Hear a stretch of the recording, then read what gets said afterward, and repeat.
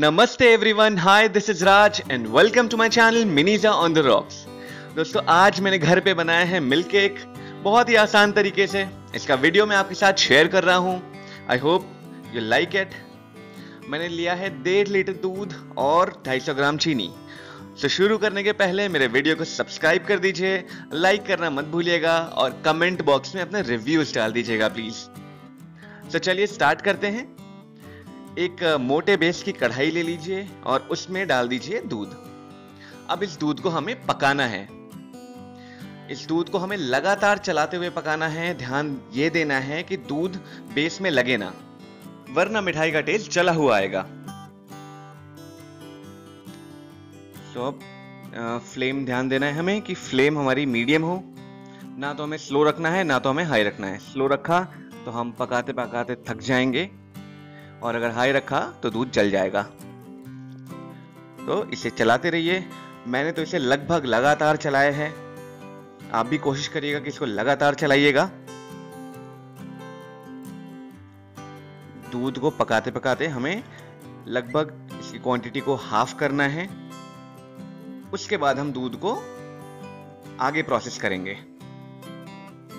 Background में मैंने लगा ली है म्यूज़िक आप भी म्यूज़िक लगा लो। क्योंकि भाई इसमें लगने वाला है टाइम ये देखिए, दूध लगभग हाफ़ होने वाला है। जब दूध हाफ़ हो जाएगा तो हमें इस दूध को फाड़ना है।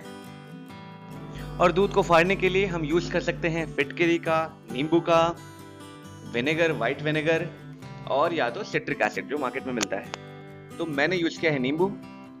आप एक से दो चम्मच नींबू का यूज़ कर सकते हैं।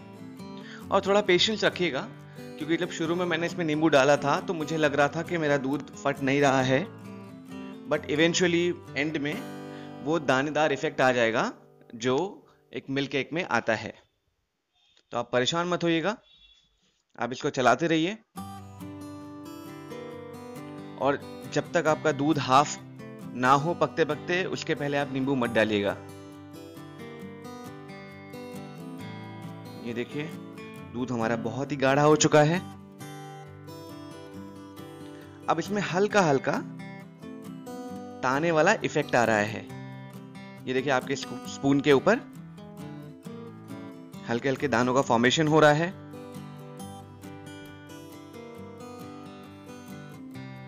बस थोड़ी सी मेहनत और करनी है।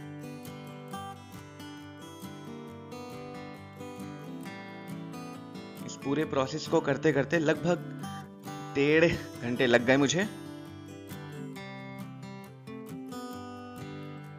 तो जल्दबाजी के चक्कर में फिर से मैं बोल रहा हूँ कि फ्लेम को हाई मत करिएगा और ना तो फ्लेम स्लो करके छोड़ दीजिएगा।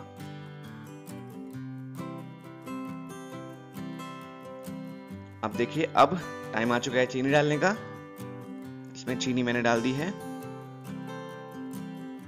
चीनी आप अपने टेस्ट के हिसाब से ही डालिएगा। जितना मीठा आपको पसंद है, उतना डालिएगा। मैंने तो लगभग 250 ग्राम चीनी का यूज़ किया है। मेरे दूध की क्वांटिटी डेढ़ लीटर थी। तो आप उसके हिसाब से थोड़ा सा फ्लक्चुएशन कर सकते हैं क्वांटिटीज में। अब चीनी भी धीमे धीमे इसमें गल जाएगी। और 15 मिनट तक इसको और चलाना है। अभी हमारे दाने बिल्कुल फॉर्म हो चुके हैं, मिठाई बिल्कुल रेडी है। थोड़ी सी चीज़ें बची हैं जो हमें और कंप्लीट करनी है। हमें इसमें डालना है देसी घी, जो किसी भी मिठाई के टेस्ट को एनहांस करता है। मैंने दो चम्मच देसी घी डाला है। आप देसी घी ज़रूर डालिएगा। मैं और कोई भी एक्स्ट्रा फ्लेवरिंग एजेंट का यूज़ नहीं कर रहा हूँ, ताकि इसका जो टेस्ट है, वो बिल्कुल प्योर रहे। अब घी डालने के बाद एक दो मिनट तक इसको चलाइए और चला करके फ्लेम बंद कर दीजिए। तो मिठाई तो हमारी रेडी है। इसको सर्व कैसे करना है प्लेटिंग कैसे करना है, मैं आपको दिखा दे रहा हूँ।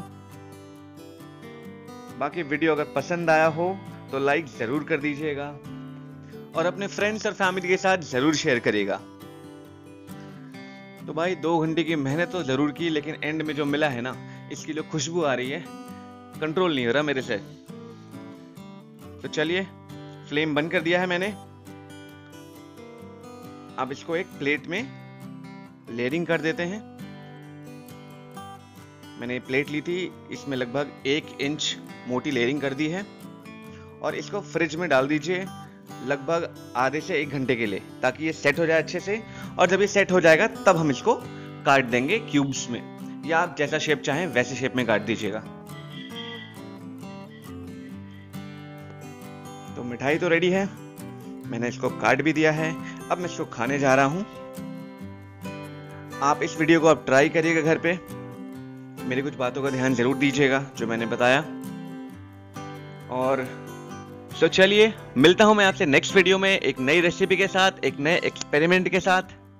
तब तक के लिए ख्याल रखिएगा अपना। Tata bye bye